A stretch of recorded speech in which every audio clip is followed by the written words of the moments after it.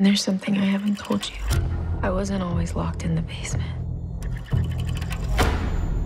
Martin? Groomers pose as saviors You're not alone. when in reality they're predators. Should we call the police? Kate wouldn't put herself in harm's way. She's somewhere safe. You're officially a missing person. Police are looking for you. Summer. New episode next Tuesday at 10 on Freeform. Next day on Hulu.